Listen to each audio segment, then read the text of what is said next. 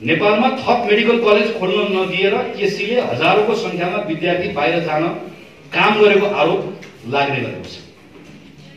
जबकि नेपाल मेडिकल काउन्सिलको तथ्याङ्कले देखाउँछ चिकित्सा शास्त्र अध्ययनको लागि नेपाली विद्यार्थी नेपाल बाहिर विभिन्न देशमा जानेको सङ्ख्या दुई हजार चौध सालमा तेह्र सय अठहत्तर दुई हजार पन्ध्र सालमा चौध सय एकसठी दुई हजार सोह्र सालमा घटेर चार सय अठहत्तर दुई हजार सत्र दुई हजार सत्रमा घटेर चार सय पन्चानब्बे यो पटक करिब करिब पाँच सय पहिला सत्र सय अठार सय पुगेको अहिले घटेर पाँच सय भएको छ। त्यो बाह्र सय कसले घटायो डाक्टर गोविन्द केसीको सङ्घर्षले पहिला इन्ट्रान्स पास नगरेको जोसुकै नेपाली विद्यार्थी पनि खल्तीमा पैसा बोकेर चाइना फिलिपिन्स बङ्गलादेश कुनै पनि देशमा गएर पढ्न पाउँथ्यो। अहिले केयु वा टियुको इन्ट्रान्समा वा पाटनको इन्ट्रान्समा चालिस नल्याउने विद्यार्थी जान पाउँदैन। आज आज सयौँको सङ्ख्यामा विद्यार्थी बाहिर पठाउने परामर्शदाता कोहीसँग रिसाएका छन् र कोही मान्छे मरोस् भन्ने चाहन्छ उनी डाक्टर गोविन्द केसी मरोस् भन्ने चाहन्छन्। किनकि सयौँको सङ्ख्यामा एक दुई होइन सयौँको सङ्ख्यामा बाहिर विद्यार्थी पढ्न जाने कुरा यो आन्दोलनले रोक्यो।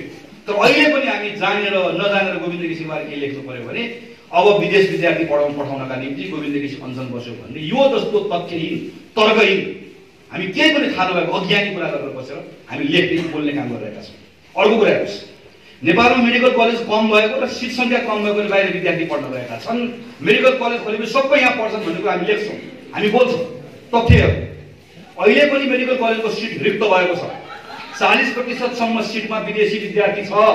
आजको दिनमा गत वर्ष जानकी मेडिकल कलेज र national medical college university medical कलेजमा सिट खाली भयो। मेडिकल कलेज नभएर होइन भएको मेडिकल कलेजमा मान्छे पढ्न गएन। गएन। क्वालिटी नभएकोले गएर त्यसैले नेपालमा मेडिकल कलेज नभएकोले गर्दा मान्छे बाहिर पढ्न गएका छन् हजारौँ गएका छन् अरबौँ लगेका छन् खरबौँ लगेका छन्। हामीले नेताहरूको मुखबाट सुन्ने गरेका छौँ। यति पनि तथ्य नराख्ने। यति पनि कुरा नबुझ्ने। नेपालमा मेडिकल कलेज नभएर होइन नेपालको मेडिकल कलेज खाली छ।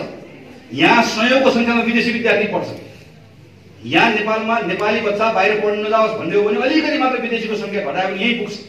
यहाँको क्वालिटी बढायो भने यहीँ पुग्छ। त्यो यस्तो कुतर्क गरेर हामीहरू बसिरहेका छौँ। र तेस्रो कुरा डक्टर अर्को डक्टर केसीलाई भन्ने गरेर अर्को अर्को एउटा बडो हाँसउठ्दो कुरा छ कि डक्टर केसी नयाँ मेडिकल कलेज खोल्न दिन चाहँदैन। र अहिले भएको मेडिकल कलेज जो निजी सञ्चालन गरेको मेडिकल कलेज छ। उनीहरूको सिन्डिकेट जो भने पक्षमा छ। अहिले सञ्चालन भइरहेको मेडिकल कलेजले एक सय पचासजना पढाउन पाइरहेको थियो। सत्तरी लाख अस्सी लाख दिन पाइरहेको थियो। त्यो एक सय पचास पढेर बढेर दुई सय हुँदै थियो दुई सय पुग्न लागेको सिट सङ्ख्या घटाएर सय पुऱ्याइदिएको छ। अस्सी लाख दिन पाउने पैसा घटाइदिएर अडतिस लाख पुऱ्याइदिएको छ। मन लागि मेरिटमा पढेको नपढेको विद्यार्थी छानी छानिकन लिनु पाउने विद्यार्थीलाई आइएममा गएर चेक त्यहाँ तिरेर भर्नाउनु पनि बनाइदिएको छ। आफ्नै छोराछोरीलाई समय पनि आफ्नो मेडिकल कलेजमा भर्नाउनु नपाउने मेरिटमा गर्नुपर्ने अवस्था बनाइदिएको छ डाक्टर गोविन्द केसीले।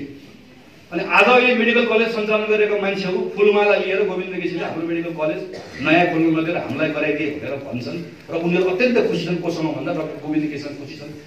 योभन्दा तथ्य कुरा के हुन्छ? र गोविन्द केसी नयाँ मेडिकल कलेज खोल्न नदिने पक्षमा छन्। गोविन्द केसीको त मागबाट सरकारले सम्झौता गरेर विधेयकमा ल्याएको छ कि जुन प्रदेशमा मेडिकल कलेज छैन त्यो प्रदेशमा मेडिकल कलेज पाँच वर्षभित्र खोल्नुपर्छ। गोविन्द केसीको आन्दोलनको माग छ। कर्णाली स्वास्थ्य विज्ञान प्रतिष्ठानमा एमबिबिएस सुरु गर। गोविन्द केसीको माग छ इलाममा मेडिकल कलेज खोल। गोविन्द केसीको माग छ प्रदेश नम्बर दुईमा मेडिकल कलेज खोल। तर सरकारले सरकारले पहिला खोल। सरकारले खोलिसके पछाडि नियमनकारी निकाय बलियो बनाऊ। त्यो नियमनकारी निकाय बलियो बनाएपछि मात्रै निजीलाई बाँकी रहेको ठाउँमा खोल्न देऊ तर त्यो निजी खोल्न दिँदै गर्दा पनि उसलाई बढीभन्दा बढी छात्रवृत्तिमा पढ्ने अवस्था बनाऊ। के होइन। त्यसरी यी मैले चाहिँ उदाहरण मात्र दिएँ। र म अन्त्यमा अब संविधानले भन्छ स्वास्थ्य मौलिक हक जनतालाई सर्वसुलभ गुणस्तरीय स्वास्थ्य सेवा दिनु राज्यको दायित्व हो। दल भन्छन् मेरो दल सरकारमा आए मात्र संविधानको व्यवस्था मूर्त हुन्छ अनि स्वास्थ्य सेवा सर्वसुलभ र गुणस्तरीय हुने वा नहुने निर्धारण गर्ने मुद्दाको सबैभन्दा महत्त्वपूर्ण हो चिकित्सा शिक्षा। माथि चर्चा गरेको जस्तो चिकित्सा शिक्षाको क्षेत्र अस्तव्यस्त भयो महँगो भयो गुणस्तरीय भयो भने कहाँबाट हुन्छ स्वास्थ्य सेवा सर्वसुलभ र गुणस्तरीय? डाक्टर केसीले खोजेको यही केही हो। यही चिकित्सा शिक्षालाई ठिक बनाउनु खोज्यो जुन वास्तवमा हाम्रो काम हाम्रो वचन। अनि ठिक बनाउने हाम्रो काम होइन। अनि त्यसकै लागि गोविन्द केसी बुढो शरीर लिएर कहिले कुन पार्टीको सरकार कहिले कुन पार्टीको सरकार कहिले अदालत कहिले अख्तियारका विरुद्ध लड्नु पर्ने योभन्दा विडम्बना के हुन्छ? गोविन्द केसी एक फकिर हुन् सन्त हुन् जनताको यो स्वास्थ्यको लागि लाग्दा लाग्दा सिंहदरबारको तातो कुर्सीमा को हुन्छ उनलाई कहिले चासो भएन? अख्तियार प्रमुख लोकमानका विरुद्ध लड्दै गर्दा ती लोकमान नेपाली काङ्ग्रेस एमाले माओवादीले गद्दीरोहण गराएको अख्तियार गद्दीरोहण गराएर अख्तियारको कुर्सीमा राखेका हुन् भन्नेसम्म उनले वास्ता गरेनन्। प्रधान न्यायाधीश गोपाल पराजुलीसँग लड्दै गर्दा हिजो प्रधान न्याय न्यायाधीशको भागवण्डामा गोपाल पराजुली कसको भागमा परेका थिए भने उनलाई कहिले चासो भएन उनलाई चासो केवल एउटा कुराको रह्यो चिकित्सा क्षेत्रमा थिति बसाल्न मद्दत गर्ने मेरा साथी हुन् यसलाई बिगार्ने मेरा दुश्मन के काङ्ग्रेस के नेकपा उनको चासोको विषय होइन? यो सबैलाई बिर्सेर आज डाक्टर केसीलाई कम्युनिस्ट विरोधी भनेर स्थापित गर्न खोज्नु अज्ञानता अहङ्कारले प्रभावित दृष्टिदोष मात्रै डाक्टर गोविन्द केसी न काङ्ग्रेसका समर्थक हुन्। न कम्युनिस्टका विरोधी समर्थक हुन्।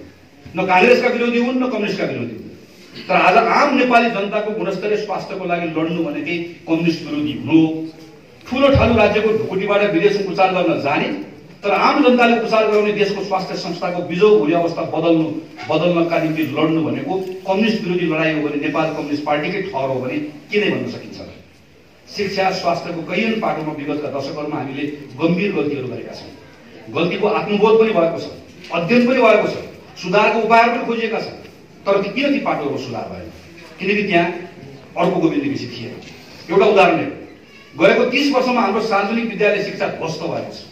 प्रत्येक सरकारले ध्वस्त भयो भने सुधार गर्ने अध्ययन गर्छ गराउँछ।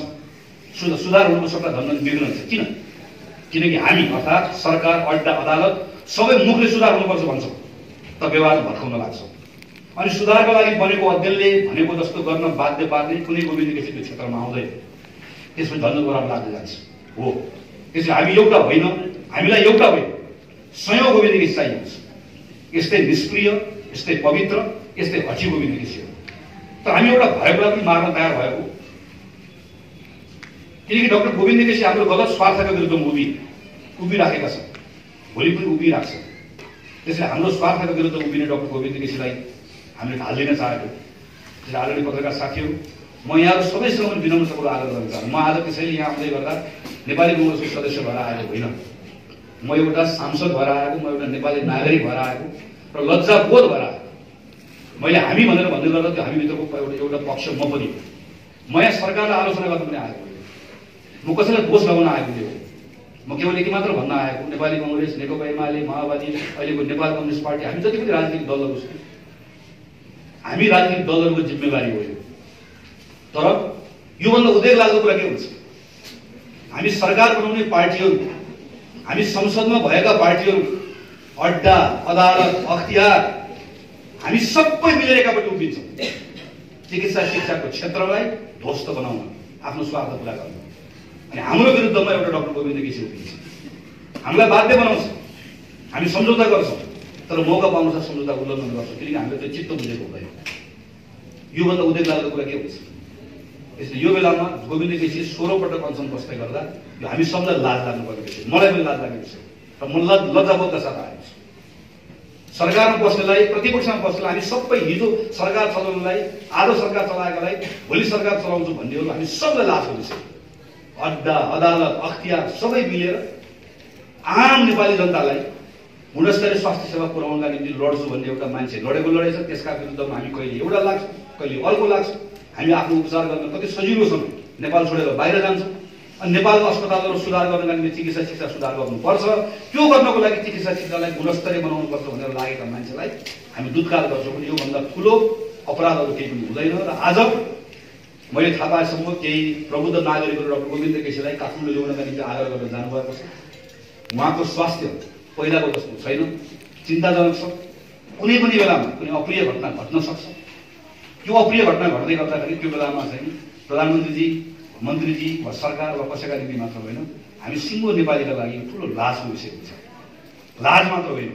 यति धेरै ठुलो घाउ र चोटको विषय हुन्छ कहिले निको हुँदैन यो बेलामा म विनम्रतापूर्वक आग्रह गर्छु कसैले यस्ता प्रतिष्ठाको विषय नबनाऊ। यो कुनै पार्टीको दलको कसैको विषय होइन।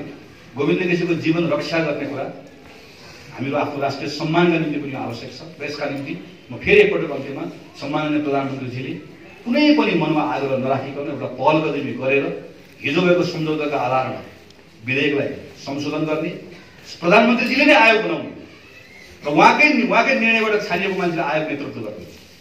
आयोग बनाउने तर आयोगले निर्णय गर्दा अगाडि जाने कुराका निम्ति मार्ग प्रशस्त गरिदिनको लागि म तपाईँहरू मार्फतबाट प्रधानमन्त्रीलाई आग्रह पनि गर्न चाहन्छु।